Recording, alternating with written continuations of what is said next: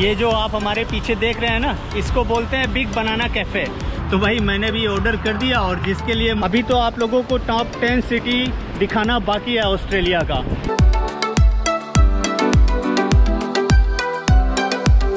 Wanna take it all in, I'm falling The cityscape by night, wanna catch in my photos Where you go, every corner twice as bright They'll be my treasures forever When I can't hold you tight, I'll see the Stockholm lights The Stockholm lights, the Stockholm lights ये hotel इसलिए थोड़ा महँगा मिला कि क्योंकि ये बिल्कुल beach front पे है और यहाँ से आप रूम से अपने चेकआउट करके सीधा आप बीच पे जा सकते हो कुछ इस तरह का भाई होटल का लुक है। आप लोग देख सकते हो, और इस होटल का नाम है hotel I B I style. Port Macquarie का टूर मेरा एक दिन का ख़त्म हो गया है, बीच बीच का टूर कर लिया मैंने। चलो भाई, अब नेक्स्ट सिटी में मिलते हैं, जिसे बोलते हैं बारन बे। तो बारन बे यहाँ से पाँच घंटे की दूरी पे है, और इन पाँच घंटों की दूरी को मैं कंटिन्यू कवर नहीं करूँगा, क्योंकि भाई मैं थक जाऊँगा। तो यहाँ से दो घंटे की दूरी पे है, एक प्लेस जिसे बोलते हैं कॉप्स हार्बर तो कॉप्स हार्बर में मैं रुकूँगा लंच करूँगा, आधा एक घंटा रेस्ट करूँगा, उसके बाद कंटिन्यू बारन बे जाऊँगा। तो चलो ट्रिप स्टार्ट करते हैं भाई।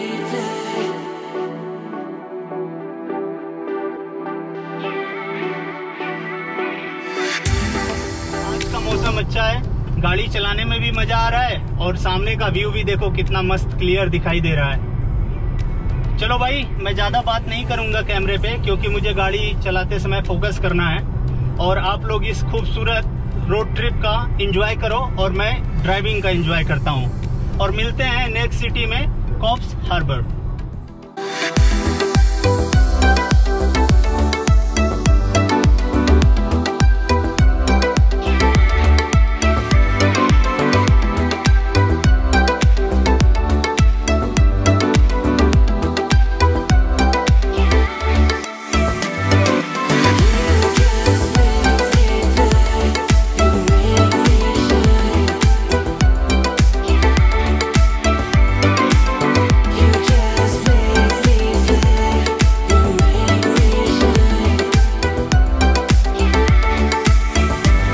जो आप हमारे पीछे देख रहे हैं ना, इसको बोलते हैं बिग बनाना कैफ़े और ये जो है कॉप्स हार्बर सिटी में फ़ेमस है. और जो भी टूरिस्ट इधर से गुजरते हैं, इस कैफ़े में ज़रूर रुकते हैं क्योंकि ये बहुत ही फ़ेमस है. तो चलो मैं भी यहाँ पे रुक गया हूँ और लंच का टाइम भी हो गया तो मैं कुछ खा पी लेता हूँ. और चलो अंदर से भी कुछ दिखा देते हैं कि भाई ये कैसा रेस्टोरेंट है. देख लो, कुछ इस तरह का व्यू है हमारे आसपास.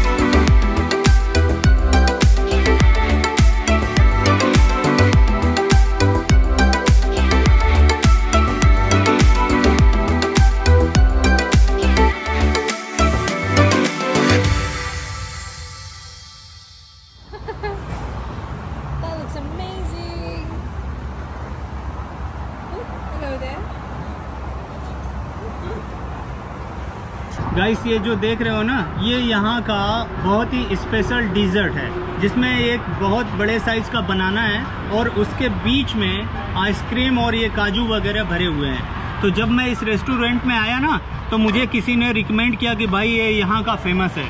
तो मैंने कहा, भाई फ़ेमस है तो वही तो मैं खाने के लिए आया हूँ यहाँ पे।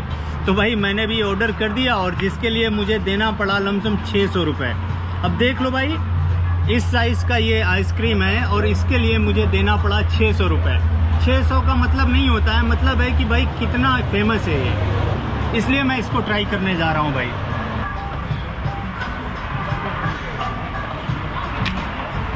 बनाना आइसक्रीम काजू चॉकलेट सब है, मस्त एकदम। अभी मैं हूँ पार्क बीच पे, जो कि कॉप्स हार्बर सिटी में स्थित है। और कुछ इस तरह का व्यू है और सन बहुत तगड़ा है भाई। मैंने जस्ट अभी अपनी गाड़ी वहाँ पे पार्क किया है और मैं इस रास्ते से गुजर रहा था तो मुझे ये बहुत ही खूबसूरत बीच दिखाई दिया, जिसे बोलते हैं पार्क बीच रोड ट्रिप पे निकलने का एक सबसे बड़ा फ़ायदा ये है ना, कि अगर रास्ते में कोई भी सुंदर जगह दिख जाए ना तो आप वहाँ रुक कर आधा एक घंटा स्पेंड करके वहाँ का व्यू और फिल्मिंग करके आप रोड ट्रिप कंटिन्यू कर सकते हो। तो देख लो भाई, कुछ इस तरह का मेरा एक्सपीरियंस हो रहा है ऑस्ट्रेलिया के रोड ट्रिप में। अभी तो बहुत लंबी दूरी तक जाना है भाई। अभी तो बहुत लंबी दूरी तक जाना है ऑस्ट्रेलिया के रोड ट्रिप पे। ये तो सिर्फ़ दूसरा दिन है भाई। अभी तो आप लोगों को टॉप टेन सिटी दिखाना बाकी है ऑस्ट्रेलिया का।